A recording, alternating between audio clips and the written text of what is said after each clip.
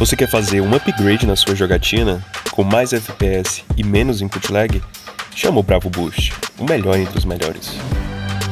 Olá meus queridos, trazendo para vocês mais um vídeo de COD Warzone e no vídeo de hoje eu vou mostrar um Assault Rifle muito forte para vocês. Galera, alguns profissionais como o Ninex têm usado em suas lives e em algumas situações essa arma destrói o inimigo muito rápido.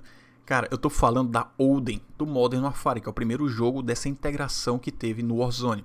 Esse fuzil de assalto ele tem um poder de fogo, cara, que é a mesma coisa do dano, muito, muito alto. Cada tiro, galera, parece uma pedrada, velho. O inimigo cai muito rápido mesmo. Então, mas assim, ela tem algumas vantagens e desvantagens. Então fica no vídeo que eu vou te mostrar todos os detalhes dessa arma e a melhor classe de Odin pro Warzone. Galera, vocês sabem que o canal aqui ele é novo e eu tenho só a agradecer de verdade todo o apoio que vocês têm me dado, seja com comentários, curtidas, inscrições. Realmente, galera, vocês são incríveis. E você pode continuar ajudando o canal na produção de conteúdo de duas formas. A primeira é se inscrevendo e ativando o sininho. Galera, vocês não têm noção, mas isso ajuda demais, demais mesmo. O crescimento do canal depende muito disso. E a outra maneira é você assistir o vídeo completo. Rapaziada, quando você assiste o vídeo completo, o YouTube ele entende que o conteúdo é de qualidade e assim ele passa a recomendar para mais pessoas, aumentando o engajamento do canal.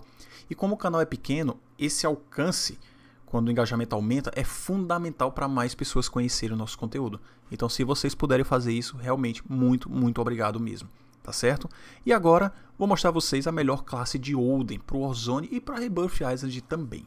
Beleza? E vindo aqui, galera, ó, agora para Odin, tá? Odin do Modern Warfare, que é o primeiro jogo da franquia, que é da integração do Warzone.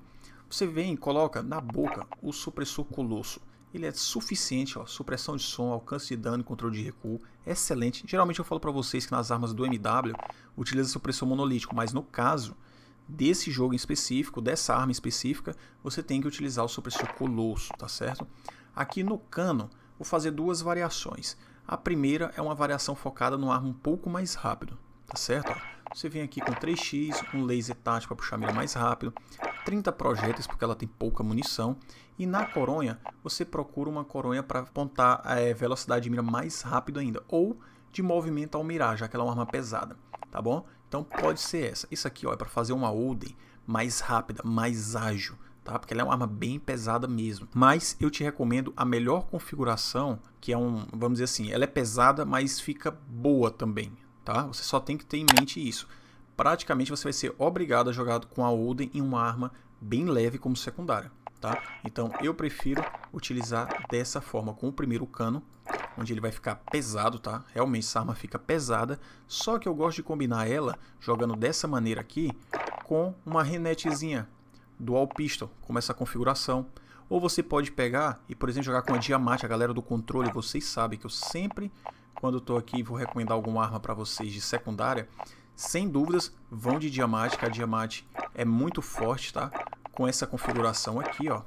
Que eu vou falar rapidinho aqui para vocês, tá bom? Só para poder não ficar esticado o vídeo, ó. Essa configuração de diamante é excelente para você jogar com uma pistola única, tá? Uma pistola em uma única mão, só que ela é de rajada. Então, você utilizar essa combinação de Odin com a diamante fica muito boa, tá certo? Ou então aquela renete dupla que eu mostrei para vocês. Beleza, rapaziada? Então aqui, ó, essa é a classe é a melhor classe que tem de Odin para o Warzone. Você pode jogar também em Rebirth Island. Se você achar que essa mira 3x é muito longa, você pode usar uma holográfica, que eu não recomendo. Eu particularmente acho que a 3x é mais do que suficiente para ela. Então ela é uma arma mais de apoio, tá? De suporte. Se você está na sua squad e tem uma galera que é ruxadora, cara, você não pode ser esse play ruxador de Odin. Você tem que ser o cara que fica mais na contenção, dando cobertura para os seus amigos. Beleza? Assim, a Odin é a melhor arma do jogo? Não, ela não é, cara. Ela não é. As top 5 metas lá, que eu sempre deixo aqui no final do vídeo para vocês, o card mostrando, são melhores do que ela, mas é uma arma interessante, cara, uma arma legal de você jogar, diferenciado, porque a gente está numa época que eu acho, assim, o Warzone ele tá numa baixa muito grande em relação aos plays. Tem muitos plays que estão insatisfeitos com algumas coisas do Warzone. Mas, cara, o Warzone ele chegou no nível de balanceamento de armas que, particularmente, eu não lembro é, estar em uma época melhor. Porque Dessa vez tem muitas, muitas armas boas. Não tem arma quebrada, que é uma raridade, é muito difícil não ter arma quebrada. Dessa vez não tem. Não tem arma quebrada, não tem SMG que é quebrada, não tem a Assault Rifle que é quebrada. Não existe isso.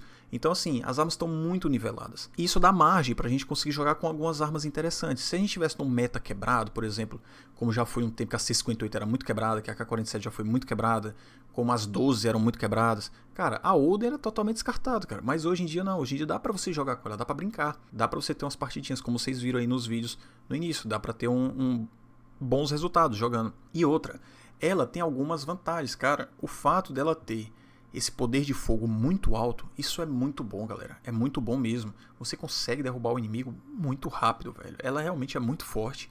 O controle de recuo dela é um controle ok, cara. Não é tão difícil controlar o recuo. Questão de costume, tá? Confesso que eu dei umas pinadinhas ali porque eu não tinha, não tava jogando com tanta frequência com a arma, mas você jogando mais tempo, você vai pegando o jeito. Quais são as desvantagens dela? Isso é muito importante mostrar para vocês. A desvantagem dela é justamente o fato dela ter só 30 projéteis, a cadência dela ser lenta e ela é uma arma bastante pesada. Esses três pontos dela é o que realmente coloca ela bem atrás das outras que são as melhores armas do jogo. Porque 30 projéteis, por mais que tenha muito dano, é pouco, cara. É pouco pro Warzone, vocês sabem disso.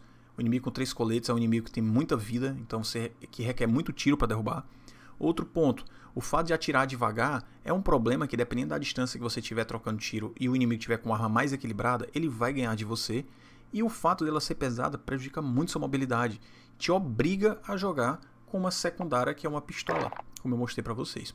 Beleza? Então, rapaziada, o vídeo, o vídeo de hoje é esse. Eu espero que vocês tenham curtido, tá certo? Deixa nos comentários o que, que é que vocês acharam.